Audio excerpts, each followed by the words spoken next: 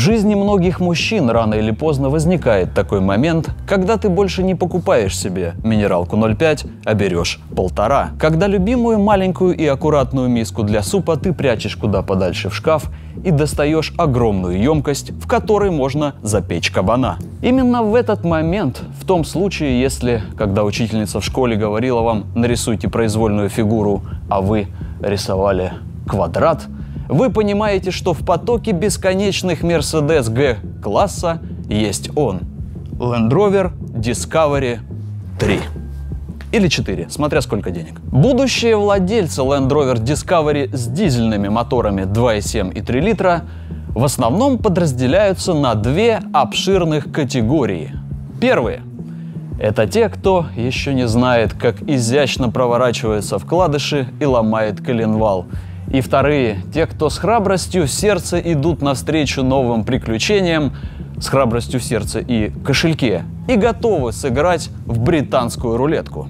В узких кругах бытует мнение, что конструкторы Peugeot и Citroën разработали эти самые двигатели 2,7 и 3 литра специально для будущих любителей охоты и рыбной ловли. Ведь согласитесь, если вы выехали куда-нибудь, где не ловит сеть, а ближайшие населенные пункты расположены в нескольких десятков километров от вас – то вы будете вынуждены отправиться в пешую экстремальную экспедицию, в которой вы будете вынуждены стать любителем охоты или рыбной ловли соответственно. Недаром в узких кругах существует народная мудрость «Двигло Пежо, не ехай в жо». Многие раздосадованные владельцы Land Rover Discovery с теми самыми нашими любимыми двигателями, у которых все-таки произошло именно то, что должно было произойти, писали письма лично Джереми Кларксону в Англию по месту прописки, но, к сожалению, ответа так и не получили. По всей видимости, это те же самые люди, которые при продаже своих замечательных квадратных автомобилей сообщают, что двигатель ремонтировался, но, к сожалению, документы где-то потеряли. Кажется, у моих коллег небольшие проблемы. Но давайте же на время уйдем из мира проблем и тревог на время и погрузимся в атмосферу марки Land Rover. Как ни странно, но на момент записи этого видео, даже если у вас есть баснословные суммы для покупки 10 новых автомобилей марки Land Rover, присмотреть себе какой-нибудь симпатичный хэтчбэк или седанчик не получится, потому что Land Rover, как ни странно, специализируется только на том, что выпускает что?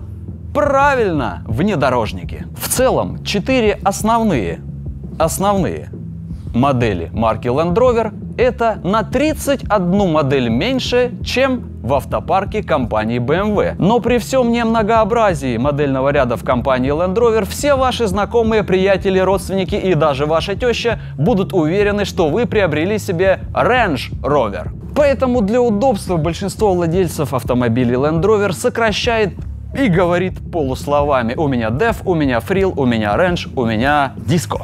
На вкус и цвет все автомобили разные, как фрукты. Кому-то нравятся сливы, кому-то нравятся абрикосы, кому-то нравятся персики. В нашем случае это огромный квадратный арбуз. Но почему арбуз, спросите меня вы? А я вам отвечу. Потому что двигатели 2,7 и 3 литра дизель это как косточки в арбузе. Вы хотите наслаждаться беспрерывно, но вне зависимости от вашего желания так сделать не получится. А почему квадратный? Да потому что он квадратный. I feel like I'm losing my mind Is everybody in the world blind? Please, Lord, give me a sign, a sign I feel like I'm losing my mind Is everybody in the world blind? Please, Lord, give me a sign, а сейчас, дорогие друзья, новоиспеченный, счастливый или не очень, что мы поймем вскоре, владелец Land Rover Discovery с тем самым двигателем дизельным 2.7 расскажет нам о своих первых впечатлениях, о своих вторых впечатлениях, если вдруг они накопились за две недели. Что из твоих представлений об автомобиле полностью не совпало с реальностью? Все, что я представлял, таким он и является. Есть ли те моменты, которыми Виктор действительно раздосадован, будь то какие-то мелочи или там среднего калибра нюансы? Э, да, есть, э, но в основном э, я раздосадован сервисменами, которые ее обслуживали, не бывшими владельцами, не компанией Land Rover с их инженерами, вот именно тем, что теми, кто ее обслуживал. Конкретно чем? Э, Машину я покупал, так как она не новая, были, конечно же, какие-то косяки. И вот э, один из косяков, э, который мне пришлось устранять, это э, разблокировать ручник и настроить колодки тормозные для ручника. Там ручной ручник, там электронный ручник. Э, и, и работа у него э, довольно-таки понятная, но не без э, скажем так, мелкого недочета с компанией Land Rover. То есть они могли поставить туда копеечный концевик, который бы при э, максимальном э, разводе э, колодок э, выключал бы систему, и система бы не контрагаилась. Э, второй момент, э, с которым я столкнулся, это, ну, во-первых, из-за того, что мотор большой, компоновка, ну, не V8, конечно, но достаточно большой, и компоновка не очень удобная, по-хорошему нужно сдергивать э, кузов и ремонтировать мотор отдельно. Но сейчас такой возможности у меня нету. Я залез под капот, э, и э, обратка форсунок там тоже сделано довольно-таки просто, понятно, и где-то можно было накосячить, не очень ясно. Но сервисмены, которые, как бы, видимо, делали ручник, они залезли и туда, и накосячили и там. А есть ли такой пункт, который в целом, так или иначе, связанный с состоянием конкретного автомобиля или с каким-то конструктивным просчетом помимо двигателя. Есть ли такой пункт, который прям вот сильно огорчил впоследствии? Может быть, какую-то информацию ты нашел или на практике с чем-то столкнулся? Land Rover хотел сделать идеальную машину для пенсионеров. Получился Discovery, но они подумали, что это слишком хорошая вещь, и они вкорячили туда мотор, который ломает себе коленвал. То есть ты все-таки считаешь, что это не конструкторы Peugeot Citroën, которые хотели всем привить любовь к охоте и рыбалке, да? Ну, конечно, я считаю то, что решает тот, кто продает. Продает Land Rover, значит, Land Rover это дело и решил. Он мог абсолютно спокойно взять какой-нибудь фордовский агрегат, либо же... Э... А можешь э, для эпичного монтажа медленно повторить фразу «решает тот, кто продает»? решает тот, кто продает.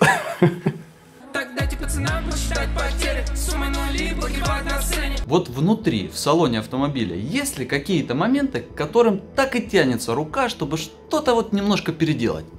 Эм, ну, э, по интерьеру абсолютно все устраивает, э, хотя можно было бы, наверное, заменить зеленую подсветку салона на какую-нибудь белую или красную, чтобы была как в Kia. Мне не нравится этот вариант. Э, но если говорить серьезно, то хотелось бы, чтобы музыка проигрывалась через Bluetooth. Но, в принципе, это решаемо. Чисто теоретически и для истории. Вот в том случае, если беда с коленвалом не обойдет тебя стороной. Изменится ли, как тебе сейчас вот по ощущениям кажется, изменится ли твое отношение к этому автомобилю, если чисто теоретически тебе придется вложить в него большую сумму денег в ремонт двигателя? Э, ну, мне кажется, нет, потому что это же осознанный выбор. Ты понимаешь на моменте покупки, что у машин есть такая беда. Возникает рандомно, и никто от этого не застрахован. Какие могут быть э, потом обиды на марку, на конкретный экземпляр? Ты об этом всем знал. Есть ли такой эффект, что девушки чаще поглядывают на тебя через лобовое стекло, чем когда ты ездил на Ford Focus 3? А, мне кажется, нет, э, потому что э, ну, мы живем в таком месте, где, наверное, молодой парень на Land Rover это, наверное, взял у отца покататься. И причем машина довольно-таки пенсионерская, как бы э, внешне выглядит. Поэтому, наверное, я, ну, либо я не замечаю, либо э, действительно девушки не обращают внимания. Э, тут другой момент был, это ребята теперь подходят и начинают со слов э, типа «не подскажите где-то что-то», а «уважаемый, подскажите где-то что-то». И вот этот вот момент, конечно, забавляет. Прошло всего две недели Но был ли такой момент, когда уже пришлось вот это огромное пространство внутри там салона, багажное отделение, использовать по назначению? Или пока нет?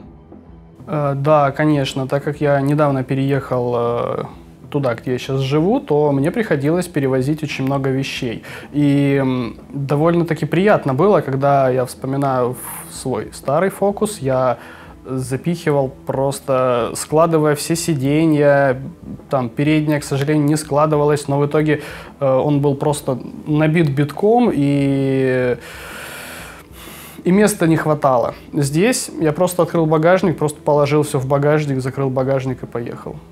А можешь привести в пример из того, что ты уже узнавал по ценнику, просто чтобы было какое-то понимание разницы там, между условным акцентом, если кто-то ездит на акценте, там, фокусом и так далее. Вот сколько стоит, приведи в пример любую запчасть или там кузовной элемент э, и его стоимость. Сколько он стоит? Ну, для регистрации автомобиля мне необходимо поменять э, лобовое стекло. И ценник э, вместе с заменой на Э, фирму, которую ставят на оригинал, я, к сожалению, не помню, как она называется, э, мне поставили 15 тысяч рублей вместе с заменой. Я не знаю, к сожалению, дорого это или дешево, потому что я никогда это не менял. Э, но в целом по машине, так как я люблю копаться в машинах, то я не вижу проблем купить какую-то деталь и поставить ее самому. По расходникам, опять же, можно посмотреть. Это, ну, естественно, не оригинал э, фильтр салона, фильтр э, э, воздушный, там масла, я думаю, плюс-минус так же, как и все остальное, ну, по маслам. А по фильтрам э, 200 рублей салонный, ну, 300 рублей, окей. И тысяча или полторы тысячи э, воздушный фильтр. Опять же, я не помню, сколько это было на фокусе но что-то, мне кажется, не сильно дешевле. А вот можешь для наших многоуважаемых подписчиков рассказать какую-нибудь бонус-историю э, по секрету? Ты у меня спрашивал по поводу девушки, как они реагируют на то, когда меня видят через лобовое стекло. Э, так вот, э, уже на этой машине была у меня такая ситуация в жизни. Э, приехал, договорились на одно время, в итоге опоздал человек на 40 минут, э, неожиданно так. И потом извинялся. Но я же джентльмен, я же типа такой, да ладно, 40 минут это ничто. На 40 минут человек опоздал. Ну, как это возможно? Это, это невозможно. В итоге, когда закончилась наша прогулка, я решил предложить человеку довести до дома. Э, ну, я-то простой человек, открыл машину, сел типа, зачем открывать двери девушки? Я до этого ездил на фокусах, там немножко, видимо, другой контингент. А здесь, в общем, девушка говорит, а ты машину там, мне, типа, ну, открывает дверь, садится и с претензией такой, что ты мне машину не открыла. Я такой, да, нужно было открывать человеку дверь, который опоздал на 40 минут. Э, нет, это, конечно же, типа, шутка, но я об этом, честно говоря, даже не подумал, но come on, ты опоздал на 40 минут, это немножко обидно, я должен открывать дверь. Можешь э, дать какое-то вот напутствие будущим владельцам подобных автомобилей? Э, проверяйте автомобиль э, полностью, э, желательно гоните на СТО э, и проверяйте его на СТО. Но опять же, либо сами понимаете, что вы будете проверять, либо же доверьтесь тем людям и найдите тех людей, которые вам смогут это дело все правильно посмотреть и правильно понять э, состояние автомобиля. Потому что, ну, если взять этот автомобиль в плохом состоянии, то как бы и вложения будут очень большими. Ну, блин, ты, ты говоришь, я же говорю, я как ожидал этот автомобиль, таким он и есть. То есть ни больше, ни меньше. Ну, я же говорю, единственное, что больше, может быть, я ожидал, это то, что не будет скрипеть салон. Ну, извините меня, машина восьмого года. Что можно еще тут ожидать?